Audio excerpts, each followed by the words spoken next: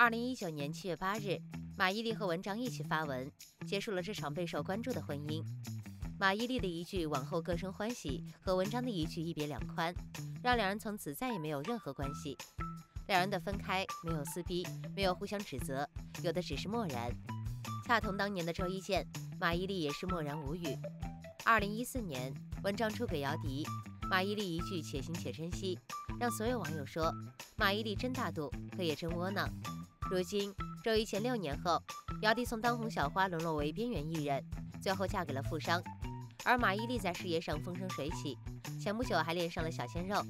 只有文章身败名裂，婚姻破裂，至今无法翻身。回首这段婚姻，谁能不说一句：马伊琍一手发杀，真是玩得漂亮。从当红小生沦落为过街老鼠，文章和马伊琍貌合神离的那五年，是救赎还是报复？这里是瓜机娱乐。今天我们就来聊一聊自作自受文章的故事。一九八四年，文章出生在陕西省西安市的一个双工家庭。从小家境优渥的他，父母很是重视。原本是跟着苗红的干部子弟的文章，童年却是充斥着撕裂和对立。连邻居、亲戚都指着文章对自家的孩子说：“你看文章哥哥，他都这样了，你要是不好好学习，你就这样。”外人没法懂他内心的世界，就连他自己都不明白想要什么。直到他陪邻居小姑娘去艺校考试，他才发现自己的那片天空。中学时，青春正点的剧组来到学校挑演员，有着艺术梦的文章听到动静，决定去试一试。就这样，文章经历了反反复复两个月的筛选，终于出现在青春正点中。这部剧点燃了文章对演戏的热爱，也让他对走演员这条路更坚决了。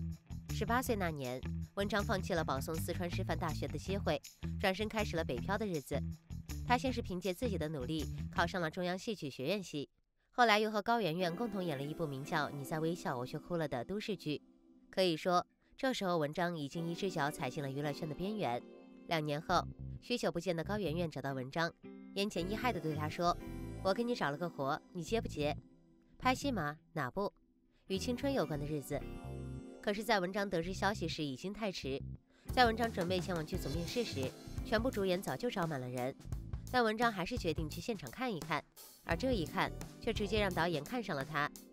导演看着眼前这个精神抖擞的小伙子，一把拉住制片说：“你去看看外面那人，是不是演卓越的好苗子？”没想到导演的一句话，让文章直接越位顶替了那原本的卓越。毫无意外的，与青春有关的日子火了。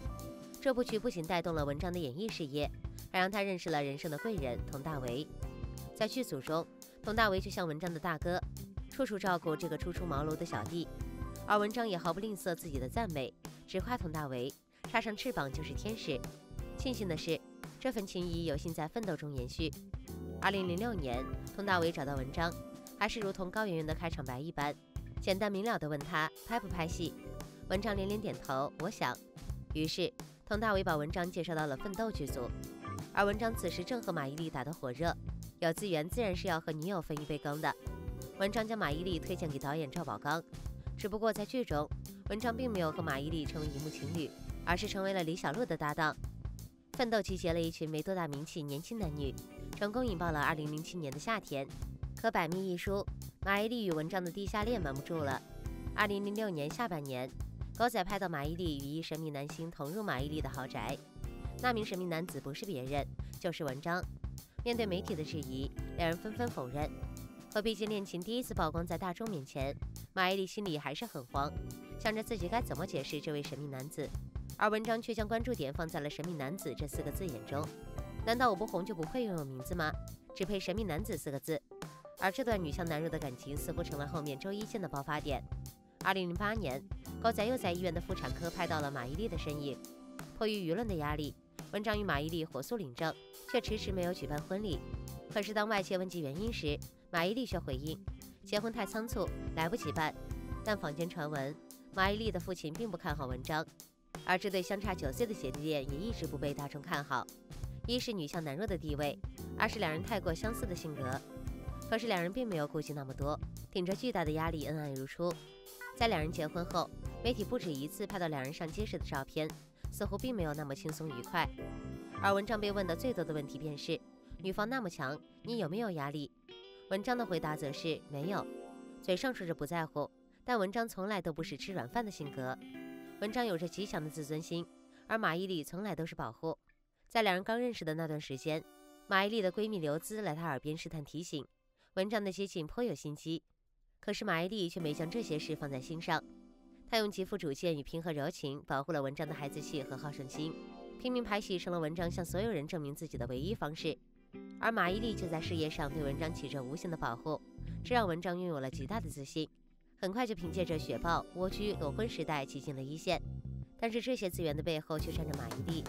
当然，有人捧到大红大紫要有演技才可以，而文章不缺才华，不缺演技，就缺一把。很明显，马伊琍没有看错人，文章也做到了。之后，文章又争取到李连杰的电影《海洋天堂》。凭借着出色的演技和敬业的态度，文章被李连杰赞扬了一番，对他的喜爱之情溢于言表。而文章顺势抱上了李连杰的大腿，认成了干爹。李连杰不仅认可文章的演技，还鼓励他做导演，帮他争取机会。万万没想到，后来的文章当真做了导演，凭借着《小爸爸》拿下了华鼎奖的最佳导演。巨大的成功让文章一度膨胀，开始急速转变自己。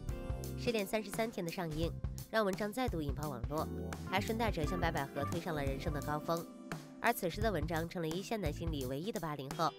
在完成电影之后，文章接受《三联周刊》采访时，对着镜头豪气冲天地说：“没办法，八零后男演员，我就是走在前面。”此时的文章拥有了傲视群雄的资本，但这背后离不开马伊琍的扶持。在大众眼里，文章算得上是一个天才导演，但马伊琍绝对是一个优秀的操盘者。夫妻联手，一个当制片，一个当导演，将两人的优点发挥得淋漓尽致。对内，文章演戏，导演发展全面，可他的脾气也是圈中公认的臭。在拍《小爸爸》时，一位周姓的编剧被问到文章的为人时，直接破口大骂：“人是真的好，但脾气也是真的臭。”而且在花絮中，文章因工作对别人的斥责简直就是轻车熟路。对外，文章对一些负面新闻，比如常在社交平台上晒脏话。常常表现得非常过激，就连杨天真都说没法全说。就是这样的性格，让文章的耍大牌成了他令人诟病的一点。而马伊琍的待人水平却恰好与文章相反。作为互圈女演员，却能和管虎相恋多年，分手也并没有留人画饼，踏足金钱地带，还能被众多名导赏识，这样的能力实则少有。文章与马伊琍的强强联手，想不成功都难。正当文章处于事业巅峰时期时，他与马伊琍的爱情故事再一次被渲染成神仙爱情。文章站在华鼎奖的颁奖舞台上，公开对马伊琍示爱，还在采访中大喊：“我从来没觉得我自己有多牛，我唯一觉得我最牛的事就是我的老婆叫马伊琍。”两人的第一个大女儿也象征着两人的爱情。文爱马。可就在吃瓜群众等着文章的下一部剧作时，二零一四年的《周一见》成了文章的最后一部作品。二零一四年三月，狗仔在社交平台上喊话，在周一爆出一个大料。众人猜来猜去，没想到主人公就是文章与姚笛。在街头上，文章与姚笛当街拥吻，而马伊琍刚生下了两人的第二个孩子。两张照片让两个人成了过街老鼠，文章的爱妻滤镜碎了一地。事发之后，文章发文道歉，承认自己外遇，辜负了家庭。可就在大众认为马伊琍无论如何也不可能原谅文章时，马伊琍却发文说了这样一句话：“恋爱虽易，婚姻不易，且行且珍惜。”为了挽回公众形象。文章再次向马伊琍求婚，跪在地上颇为虔诚地说道：“小文以前不靠谱，以后想靠谱了，有你便是有一切，求求你嫁给我。”之后，文章又导演电影《路遥知马力》，这部电影成了文章献给马伊琍的情书。可自从事发之后，文章再鲜少出演电影与电视剧，就连文章自己都说，大家对他的作品不买账。曾经的辉煌似乎早已成为了过去，大众对他的谅解度几乎为零，没人愿意找文章拍戏。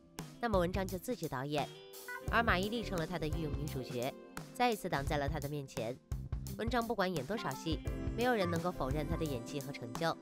但文章是不是一个富有责任感的人，只有马伊琍说了算。而文章似乎也从那次翻车之后，开始从小孩变成了大人。为了周深的光环，文章只是一个普通的丈夫、父亲，安安静静等待文阿玛跳舞的文章，似乎没了指导式的盛气凌人和臭架子。这对他来说是生活的残酷，也是人生的历练。在文章外遇后的五年时间里，大众对于他的批判加速了这段婚姻的再次衰败。可能为了这个错误，文章每一天都活在星空里。这不是马伊琍带给他的压力，而是社会的放大镜对他的反噬。终于，马伊琍与文章的婚姻再次走到了尽头。二零一九年，两人对外宣布离婚。在对外宣布的那一刻，马伊琍在文中的一句颇为显眼：“知道凡人何事，没有永恒不变，一念阴阳，唯一把握得住的便是眼前的时光。”似乎已经暗有所指，因为自从文章外遇事件后，两人貌合神离的态度早已将这个结局提前告知了大众，而停留只不过还是希望能够挽回。十一年婚姻的结束，也同时宣告属于文章的上半段人生接近尾声。在杰出的演员里，文章还是年轻人，是未来不可预估的实力派演员。但在感情生活中，负责、敢于取舍，既不自耗也不消耗别人，这种值得肯定的品格，很可惜文章并没有学会。与马伊琍离婚后，文章的复出之路难上加难。没了马伊琍的扶持，文章似乎颇为用力。每一次出现在镜头前的文章，都有一种无力感。如今文章没有停止工作，以导演的身份拍了电影。还给马云做了反响不错的片子，常常出没在高尔夫球场里，像是过上了老年的幕后生活。而近期还有媒体爆出，文章在开酒吧为生，面对美女的合影也是笑脸相迎。成名要趁早，做演员也需要魅力。可似乎过于顺利的成名之路，成了文章出错的其中一个原因。少年总有一天要离开导师或者伴侣，独自上路，后面的路途看起来很不好走。就如他自己所说。大家对他的作品不买账了，不知道什么时候大众会原谅他，或出色的才华，或动人的作品。这里是呱唧娱乐，如果您想知道更多有趣的故事，欢迎点赞订阅，也期待您在评论区留言，说出您的看法。我们下期再见。